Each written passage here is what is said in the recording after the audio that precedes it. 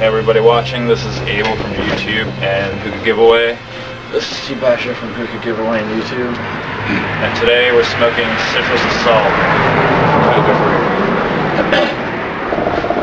Uh, our setup is a 33 33 inch Syrian chiller with uh, center Maya bowl on top, screen, two Coconaras, one cover, large Nammor, and then a large Razan.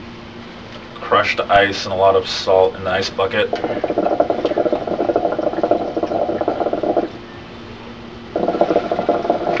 The cut on the Hookah Freak, you already know, it's really shredded. Looks like extremely shredded cheese, aged 20 years. That's my uh, way I like to describe it. Um, but uh, yeah. Um, as for flavor, let Abel do that. Um, right now I'm not really getting that much flavor. The last uh, flavor we smoked out of these hoses was uh, Scooby Snack, and I don't really taste any citrus at this point.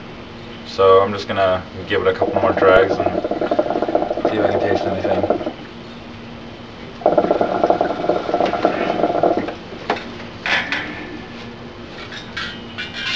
Yeah, take that cover off.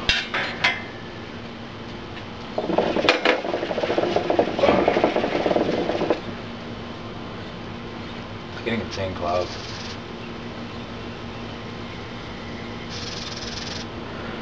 That's why the clouds, you can see they're actually pretty, uh, pretty thick.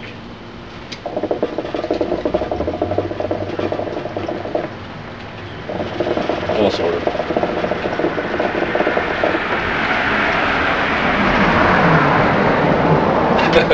Mediocre. oh wait, I'll see me. I don't know. But this is a really boring review, and uh, I'm gonna cut it short.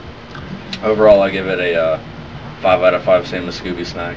uh, I don't, still don't really taste any citrus. Uh, Sammy! maybe the, uh, maybe the stem is too cold. The flavor isn't even coming out yet. I'm not sure what it is. Hey, for all the people watching this, I want you to make a. Re- I want you to make a reply to this. Tell me if they should make a flavor called Sleep Assault. that would be an interesting flavor, to say the least. Would taste like. Would taste like rape. Would taste like a rape and grape. That'd be pretty sweet. Rape and grape. Rape grape. Grape grape. I don't know. That'd be funny as hell. I don't know, but um. Overall, this is gonna get a low rating. Uh, but this is Steve Basher from Hookah Giveaway on YouTube. This is Able to Woody 88 from Hookah Giveaway at YouTube. Keep smoking.